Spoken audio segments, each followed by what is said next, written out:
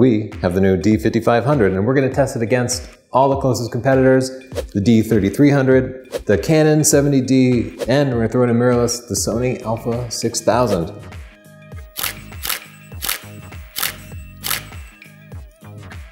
One of the things you do a lot in the studio is just make sure everything is sharp. Touchscreens are great for that. Look at how quickly I can zoom right in on the eye.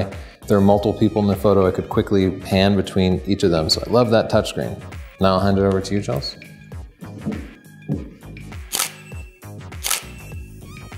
So, so far I like that the autofocusing points are really easy to change, which makes it easy to recompose your image very quickly. It also snaps into focus really fast.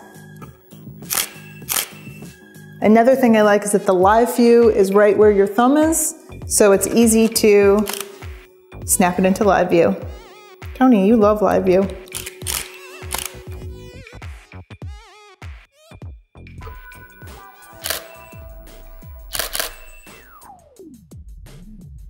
The D3300, the controls are about the same, feels about the same, in fact it's about the same way. It's a little bit cheaper, takes the same pictures, but right away I'm noticing that the focusing points just aren't the same. There aren't as many of them, they aren't spread around the frame as much. Not a big deal in the studio, just means I have to do a little focus recompose. Definitely slows down the shooting process a little bit.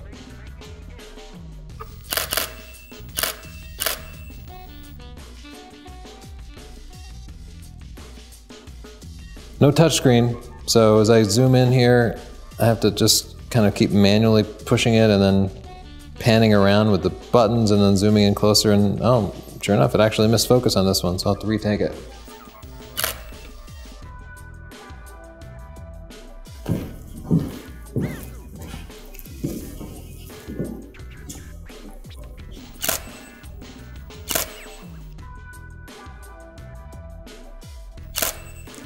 Right away I noticed that there are far fewer focusing points, just like Tony said. Um, and the controls don't feel as nice to me. They're not placed in a way that's as pleasing as the last camera. Small nitpicky type things, but it matters. You pick it up and you notice. So this is the Canon 70D. It's $1,100, making it $200 more than the D5500. They both have the articulating touchscreen. And let me take some pictures of Tony and see if it feels as nice.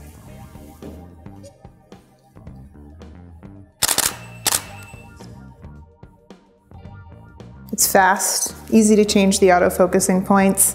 Uh, it just feels good in the hand.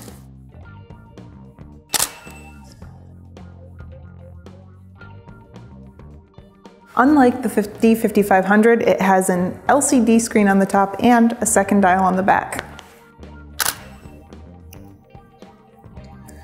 D5500 definitely has the better image quality, but this seems to feel even better. It's just a bigger camera. It feels more solid, so when you're in the studio and not traveling around, that's gonna help you out. I like having the LCD screen on top personally. I can see my settings a little bit quicker, but it's not a big deal to use one on the back.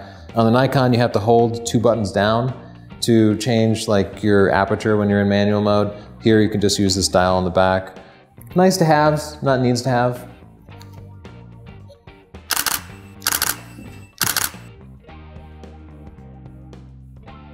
This is the Sony Alpha 6000. It's actually cheaper than the D5500, way, way smaller, and it has the same great image quality. Let's check out how it works in the studio. Whoa, frame rate's a lot faster, isn't it?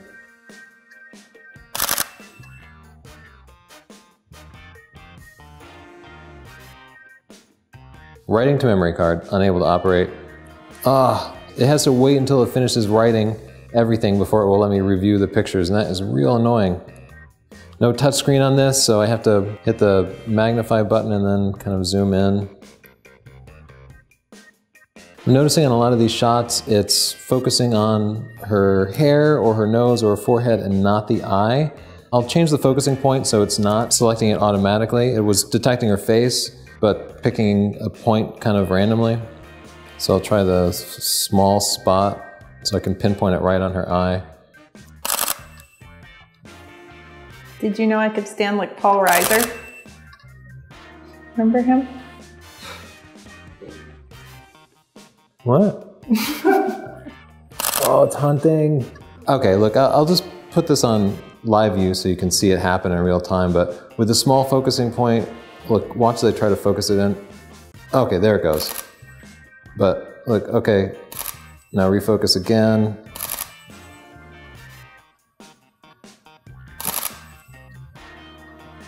It randomly takes from a short amount of time to more than a full second.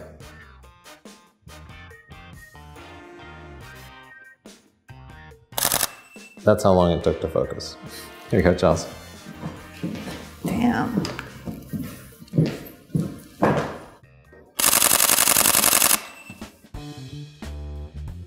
So the frame rate is incredibly fast and you can put your focusing point almost anywhere in the frame, which is really nice. The camera's lightweight, um, but there's some things that I don't like about it. The buttons are so flush.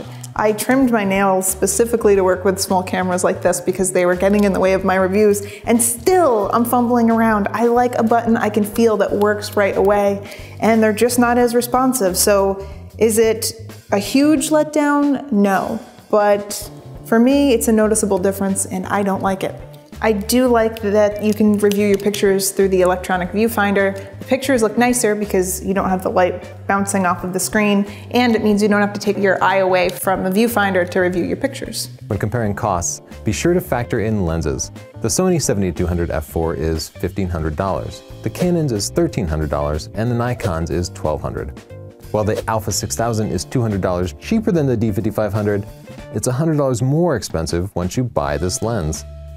Canon and Nikon also have less expensive third-party options from Tamron and Sigma which aren't available natively for the Sony.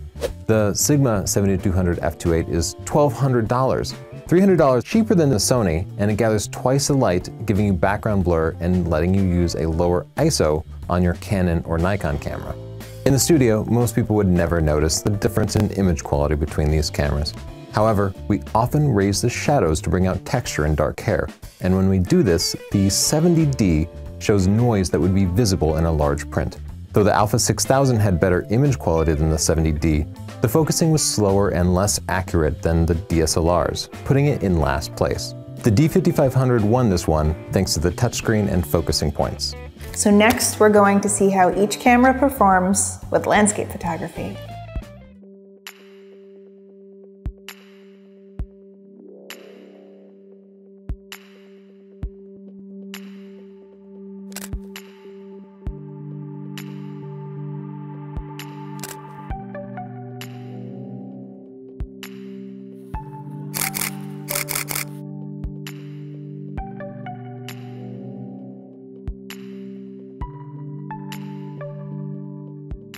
So Connecticut isn't really known for its landscape photography, but we do have a lot of beautiful historic buildings.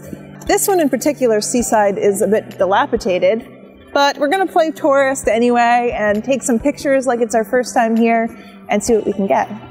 It's not a huge weight difference between the D5500 and D3300. Even though the D3300 is smaller in the hand, they just made it out of some amazing new science materials that make it super portable. What about the A6000 though? That is tiny by comparison. Yeah, hold that thing up. It's just really small and lightweight. And for travel, man, you never mind carrying that A6000 around. Yeah, but the 70D is like the monster of the group. If you wanted a small camera to travel with, this, well, it's a typical DSLR. It's big, but the small camera that you have with you is the one you're most likely to take pictures with. So if you don't feel like toting this thing around, you might not get your shot. Yep.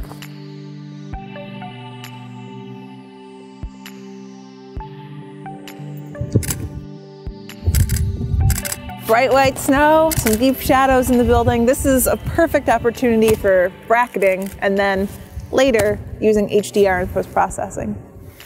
One problem, of all these cameras, only the D3300 doesn't have bracketing. So I can manually adjust the exposure compensation to take multiple different shots at different exposures, but when you do that, it moves the camera around a little bit, makes everything align a little bit worse in HDR, and just generally takes longer. If you need bracketing, you're gonna have to bump up to the D5500 or one of these other bodies. Oh my gosh, Mother just Nature just like intensified. The, the, snow just blasted. We were like, well, let's just do this one more shot, and then Mother Nature was like, you!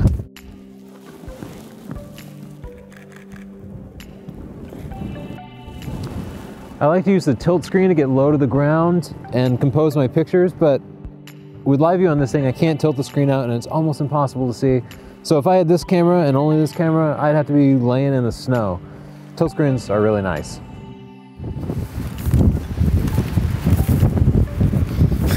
I'm out. The Alpha 6000, D3300, and D5500 all had similar image quality, but we're naming the Alpha 6000 the winner because of the small size and electronic viewfinder that lets us preview the exposure before we shoot. The D5500 comes in a close second. It's amazingly lightweight for a DSLR, and we love the articulating touchscreen. The Canon comes in last because it's heavier and has lower image quality, though most people will never notice. Here are my favorite soccer player to test out the focusing systems on each of the four cameras. So uh, let's get started. We're gonna use the same settings and a big 70-200 for all of them. Head on down.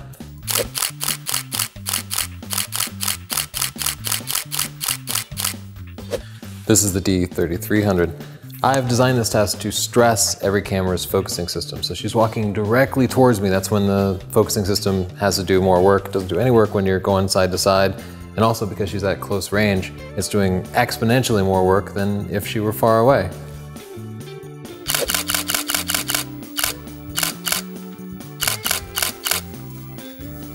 Thank you.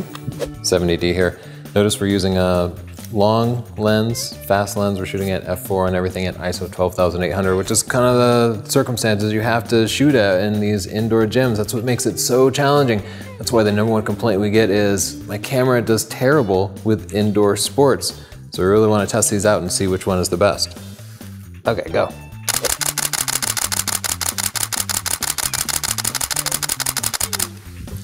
Thank you.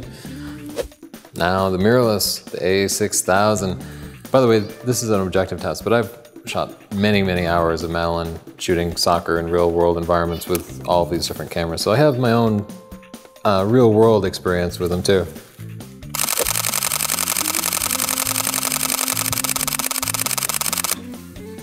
One thing that annoys me about the Sony is it doesn't let me view my pictures until after it's finished writing all of them.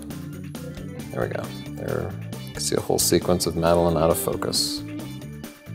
So you probably get more shots in focus than I do, but it's not because I don't know how to use the cameras. It's because I've designed a test that pushes them past their limits, because that's the only way to really know which is the best. The Canon 70D averaged 23 sharp shots per run, while the D3300, D5500, and Alpha 6000 each got about 14 shots per run. Having more focusing points spread wider throughout the frame makes the D5500 a better choice for sports than the D3300. Despite the similar score, the Alpha 6000 focused very differently from the DSLRs. It captures 11 pictures a second, much faster than the DSLRs, but only one out of three shots are in focus in these challenging conditions. The DSLRs took fewer shots, but got over 90% sharp. In the real world, I've found the Alpha 6000 takes much longer to initially lock focus than the DSLRs, causing me to miss important moments when shooting sports. You can get it done with an Alpha 6000, but given the choice, I still recommend DSLRs for action. In summary, if you are shooting action, the Canon 70D seems to have a better focusing system, but you could save a few bucks and get a used Canon 7D. They're both really pretty big, heavy cameras. If you want something small and light for travel, definitely check out the Sony Alpha 6000. Has perfect image quality just like the D5500 and a much smaller package. The lenses can be a little bit smaller too.